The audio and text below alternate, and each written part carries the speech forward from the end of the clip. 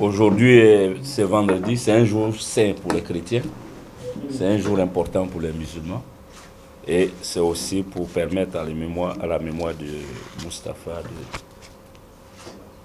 se reposer et que Dieu l'accueille à sa droite. Avant de commencer, on va restituer les faits.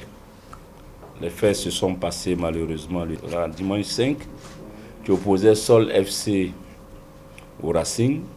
Le président de, que je suis étant en mission avec le président de la FIF à l'intérieur du pays avec la CAF pour visiter les stades en construction. Et ce jour-là, ensemble, on regardait tous le match et on a vu ce qui s'est passé sur le stade. De manière factuelle, moi, quand on suivait, on a vu le jeune s'écrouler seul et on a vu un joueur de, Sol FC qui a ameuté et qui est même allé empêcher le joueur Silla d'avaler sa langue. Donc il faut féliciter déjà ce joueur pour ce geste. Et ensuite, euh, j'ai vu les médecins courir sur le terrain sans même avoir été appelés par l'arbitre parce qu'ils ont vu la gravité de l'action. Donc ça veut dire qu'avec promptitude, se sont rendus sur le terrain. Et ensuite, j'ai vu une dame revenir chercher un sac pour aller intervenir auprès de, du joueur Silla.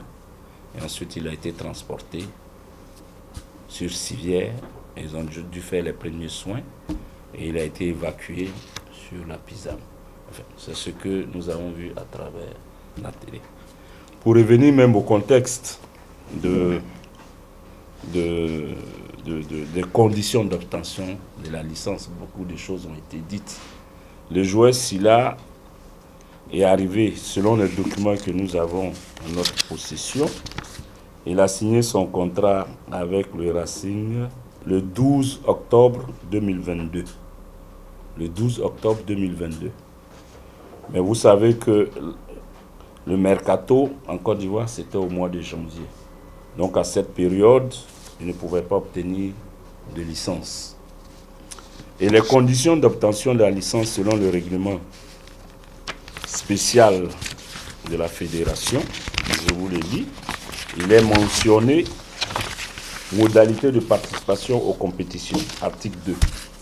Participation, engagement des clubs. Les clubs participant au championnat de Côte d'Ivoire de Ligue 1, Ligue 2 sont des associations sportives de droit ivoirien affiliées à la Fédération ivoirienne de football. Et ensuite, à son alinéa 2 et 3, il est spécifié que les clubs de Ligue 1 et de Ligue 2 sont tenus d'assurer le suivi médical de leurs joueurs. La visite médicale est obligatoire pour tous les joueurs licenciés. Les protocoles, notamment sanitaires, sont définis par la commission médicale de la Fédération ivoirienne de football, dont les membres sont exceptionnellement nommés par le comité exécutif de la FIFA. Ces protocoles sont mis à la disposition des clubs avant le début des compétitions. Donc pour obtenir une licence de la fédération, et concernant ce joueur en provenance du Mali, il lui fallait un CIT, ce que le RCA a produit, un certificat international. Il lui fallait la libération de son ancien club, le Joliba Athletic Club, Club of Sport, qui a, qui a libéré le joueur le 6 octobre 2022. Donc sur le CIT, on a mis la date d'enregistrement, son nom autorisé par Madi Diallo, la lettre de libération signée par le président Tidiane, Mediane Yambele. Ensuite, il a fait un certificat de résidence puisqu'il est étranger, le 9 janvier 2023. Sa carte d'identité malienne a été ajoutée. Le Racing a produit un certificat de non-contre-indication à la pratique du football en compétition. Ça a été signé par, je sous-signé docteur Abouna Alain Didier, agréé, c'est ça, hein, docteur? Sous le numéro 5670. Donc, il est, c'est un docteur qui, est en service au CHU, le Cocody, ancien interne des hôpitaux. il a signé le certificat le 5 janvier 2023. Et ce certificat précise, je soutiens le docteur Abouna Alain Didier, son numéro, numéro de téléphone certifié avoir examiné. Sila Mustafa, né le 3 janvier 2002 à Bamako, et n'avoir constaté ce jour aucun signe clinique apparent contre-indiquant la pratique du football en compétition. La licence octroyée par la fédération a été faite le 26 janvier 2023. Voilà. Le 26 janvier 2023. Donc, conformément aux exigences de la Ligue de la pour qualifier un joueur, le protocole a été suivi et respecté par le club. En ce sens que le club est responsable de ce qu'il nous amène comme document. Donc quand vous voyez la chronologie, le joueur a signé son contrat de travail le 26.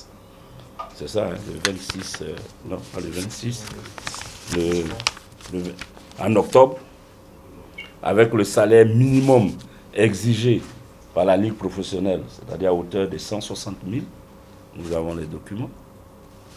Et ensuite, ils ont déposé, avec le certificat demandé par la FIF, la lettre de libération et le CIT. C'est comme ça que nous avons qualifié le joueur Silla Mohamed.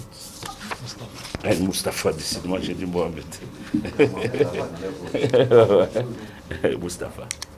Donc voici ce que je tenais déjà à vous dire euh, sur le plan de la qualification du joueur. Sur le plan médical, l'intervention qui a été faite au niveau du stade, selon les médecins de la fédération, je peux passer la parole au docteur Kwasi.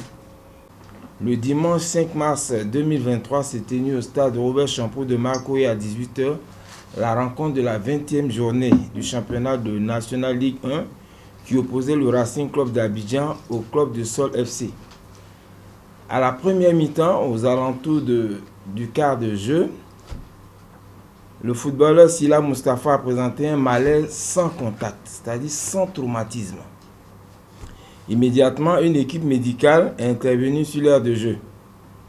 Le médecin fédéral a constaté que le malade a présenté des crises tonico-cloniques, c'est-à-dire des crises convulsives, des convulsions généralisées, et il a entrepris immédiatement les manœuvres médicales, à savoir euh, lui mettre ce qu'on appelle une canine de Guédel pour libérer un peu les voies aériennes parce qu'il faut que le patient continue de s'oxygéner. Et le patient a été mis en position latérale de sécurité, c'est une mesure qu'on prend, et après on essaie de brancarder le patient on le fait sortir, on le met, on le met dans le brancard et on le fait sortir.